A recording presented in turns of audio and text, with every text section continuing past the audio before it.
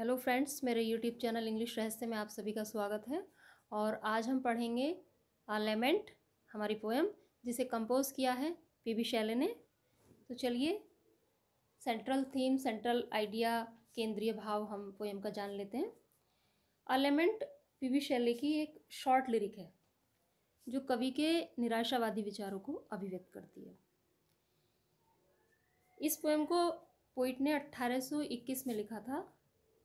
मतलब अपनी मृत्यु से एक साल पहले, एक वर्ष पहले।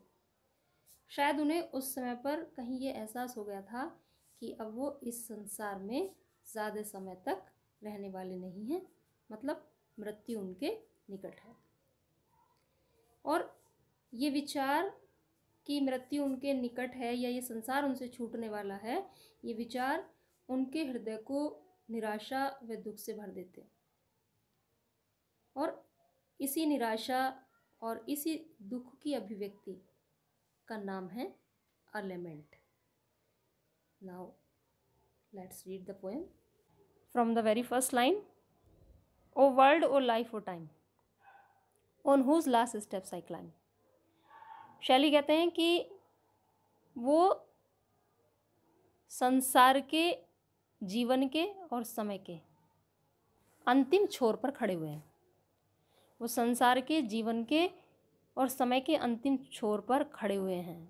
उनके कहने का तात्पर्य है कि अब उनसे ये संसार भी छूट जाएगा, ये जीवन भी छूट जाएगा और ये समय भी छूट जाएगा।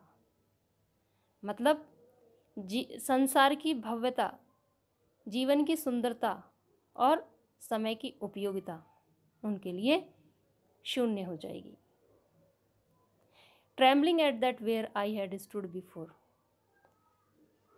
trembling shivering कप कपा जाते हैं at that where I had stood before इस विचार से ही कप कपा जाते हैं कि पहले वह कहाँ खड़े हुए थे।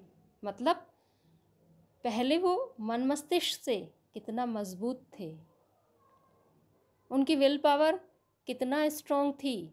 जब उन्होंने अपने जीवन में इतने संकटों का, दुखों का और परेशानियों का सामना किया। उस जीवन को, जो संघर्षों की एक कहानी रहा, एक कुशल योद्धा के समान उसमें लड़ कर के बाहर आए। तब वो भयभीत नहीं हुए। लेकिन आज आज ये सोच करके कि वो क्या थे और आज क्या हो गए हैं, ये सोच करके ही कप कपा जाते हैं। और एक प्रश्न कर उठते हैं। क्या प्रश्न? When will return the glory of your prime glory गौरव शान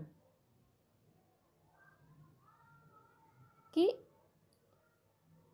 हे संसार, हे जीवन, हे समय, क्या तुम्हारे आनंद का गौरव कभी लौट पाएगा? कि हे संसार, हे जीवन, हे समय, क्या तुम्हारे आनंद का गौरव कभी लौट पाएगा? यानी वो संसार जिसमें उन्होंने बहुत सुंदर सुंदर कृत्य किए, वो जीवन जो कठोर होते हुए भी जिसका उन्होंने बहुत ही सच्चे मन से और बहुत ही कुशल योद्धा के समान जिसको उन्होंने जिया, जिसका सामना किया और टाइम और वो समय जिसका हर्षण उन्होंने प्रयोग किया, क्या इन सब का गौरव कभी लौट पाएगा? नो मोर ओ नेवर मोर उनके प्रश्न का जवाब उन्हें उनकी अंतरात्मा से मिलता है कि नो मोर ओ नेवर मोर नहीं और अब कभी भी नहीं। चलिए now we come to our next stanza out of the day and night चाहे दिन हो या रात मतलब संपूर्ण जीवन a joy has taken flight कवि के संपूर्ण जीवन से आनंद ने एक उड़ान भर ली है।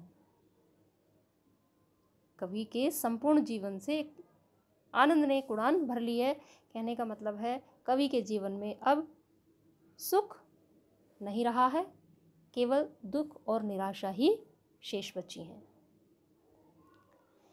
Fresh spring and summer and winter hoar fresh spring सुंदर, ताज़ा बसंत समर ग्रीष्म ऋतु। विंटर होर तेज़ ठंड होर वैसे तो वाइट स्नो को कहते हैं, लेकिन यहाँ तेज़ ठंड से मतलब है, तेज़, सर्दी के मौसम से मतलब है। शरद ऋतु। ताज़ा बसंत, ग्रीष्म और कड़कड़ाती ठंड। कड़कड़ाती शरद ऋतु। मूव माई, फेंट हर्ट मेरे हृदय को भर देती हैं। मेरे कमज़ोर हृदय को भर देती हैं विद ग्रीफ दुख से। कि प्रकृति की ये खूबसूरत ऋतुएँ जो इतनी सुख को देने वाली हैं, इतने आनंद को देने वाली हैं, वो सब भी आज कवि के हृदय को कवि के कमज़ोर हृदय को दुख से भर रही हैं। क्योंकि देखा भी गया है कि एक सुखी व्यक्ति ही प्रकृति के सौंदर्य का आनंद ले सकता है। दुखी व्यक्ति कभी इनका आनंद नहीं उठा सकता। तो आज वो अपने लाइफ के उस स्टेज पर हैं, जहाँ उनका हृदय कमज़ोर हो गया है, दुख और निराशा से भरा हुआ है। इसलिए प्रकृति के जो इतने खूबसूरत दृश्य हैं मनोरम दृश्य हैं ये लुभावनी ऋतुएँ हैं वो भी वो सब उनके कमज़ोर हृदय को आज सिर्फ़ और सिर्फ़ दुख से भरती हैं।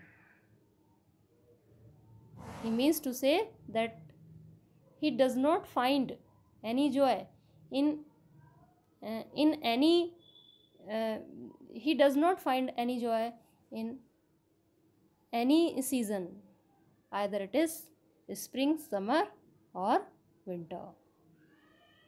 But with delight लेकिन जहाँ तक आनंद की बात है, लेकिन जहाँ तक आनंद की बात है नो मोर और नो मोर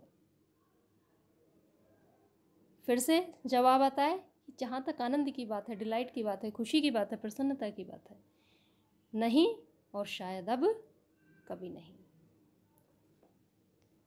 एक बार फिर से देख लेते हैं। कवि के जीवन से आनंद ने एक उड़ान भर ली है और ताज़ा बसंत, ग्रीष्म और शरद ऋतु, सब सारी ऋतुएँ उनके हृदय को दुख से भर देती हैं। और जहाँ तक आनंद की बात है तो वो अब नहीं और शायद कभी भी नहीं।